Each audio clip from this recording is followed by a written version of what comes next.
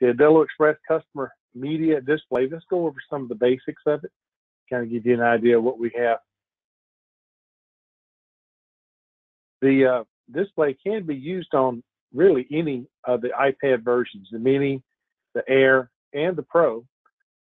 All that is required is that it must be on the current iOS operating system. So if it'll run the current iOS, it will run the media customer display. They must reside on the same network. This is using the uh, Wi-Fi network to communicate to the iPad. So they must reside on the same network. And uh, they're just considered another device. That, that's really all it is. So it's not hard to set up. Let's go ahead and show you how this works. The concept of what we're doing as far as setup goes is going across the board with all three of these modules that we're going to discuss. You are uh, on the media display iPad, you'll be given a QR code. You take the iPad that you're going to connect this with, that is the point of sale version of the iPad, and you simply scan that QR code. By doing so, it will then link these two iPads together so that you can um, then begin the programming of it. But it all starts with scanning the QR code. Then you enter the device number. Uh, like I said, this is just another device in the network. So you'll enter the device number that will then be on the network. You'll then be able to enter the manager number. This is the same manager number that you have for your uh, standard back office operations on the point of sale. So whatever your manager level access is on the point of sale, you'll enter that here, and that then gives you access to the program screen. This is the program menu screen. Once you set this up to gain access back to this, all you have to do is touch the screen with three fingers at simultaneously, and that will then give you access to this. Here are the four uh, videos that we are running currently on the back on the back customer display. These are short, 15 to 30 seconds max that you can uh, create and then upload from the uh, iPad. So they would have to be on the iPad itself and then uploaded to the program. It's real simple to do. Just select them, and then you once you're once you're running up on the screen, you can check, touch them, to touch each one of these blocks to turn them on and turn them off and on. So you'll see this little uh, blue check here, here, and here. These are the are three that are running. This one was uh, not running when I took this screenshot, so it doesn't have the uh, check mark. So they are uh, full screen and they are multimedia. So whichever uh, whichever videos you choose, that's what's going to come up.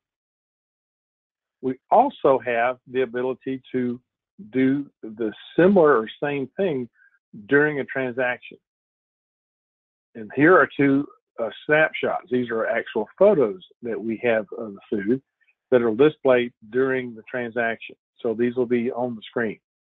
You can have multiple images you can also uh, select how often these videos or these images rotate. So they can change during the transaction. These are also customer facing.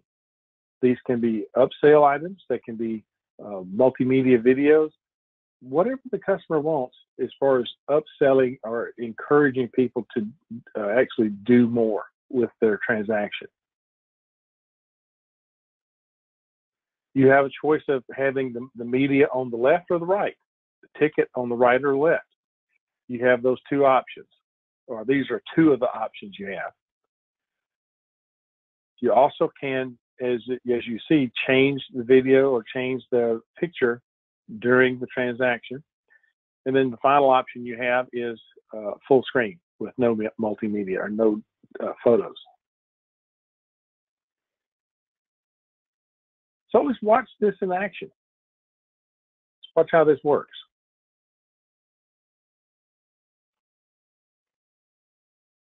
Back to the screen here. Now I'm going to go ahead and start a transaction. I've got two iPads on my desk.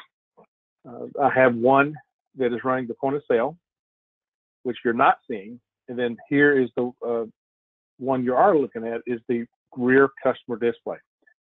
Once I sign on to the terminal, then my screen changes to what this is what the customer is seeing here on the transaction. As I ring up, you'll notice that uh, you do have the subtotal, tax, and then total due is shown on the screen. As I ring up, more and more items come up on the screen. Once you are uh, through with this, you can then go to the tender screen. The customer can have a uh, PAX unit on the customer side, and in doing so, they can choose credit or debit, or if they pay with cash, we simply use the uh, screen here to tender out. Now this will stay up until you either touch the point of sale screen or there's a 30 second countdown. And that gets us back to the point of sale. You have the choices here of on modifiers. Let's see if I can find an item with a modifier. Yeah.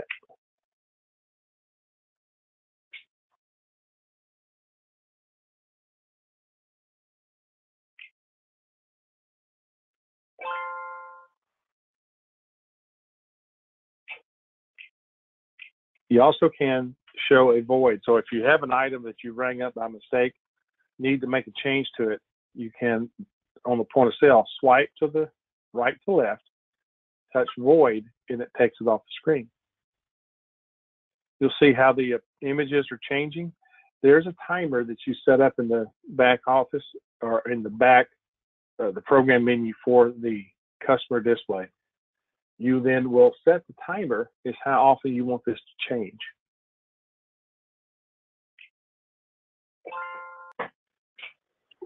So that's how that, that customer display works. So when you're in the manager area, there's some simple little cho choices you have here. Everything you see down at the bottom here, the blues, these are what you want to display on the screen. So you have coupons, you might want to have the customer enter the coupon. Show the unit price, sales tax, subtotal, and total.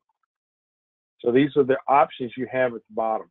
Um, you also can uh, link to the POS device. I'm linking to, to device five.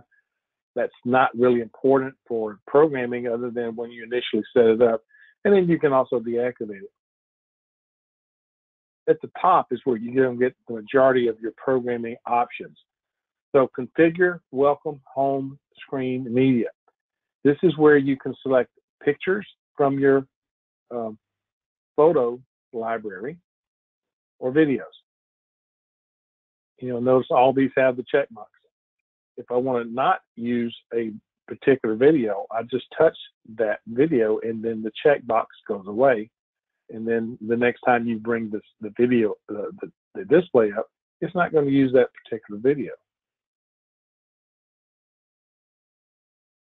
You do have the ability to have a banner across the top. I don't have any of those here but you do have that choice. Uh, here's the half screen. This is what is going to display during the transaction. So you see these two photos here you can also load in videos. These would play during the transaction, most likely would be used to upsell that particular customer. These are not cust- these are not item dependent, they're not item related, but they are transactional media that you can use during during that transaction.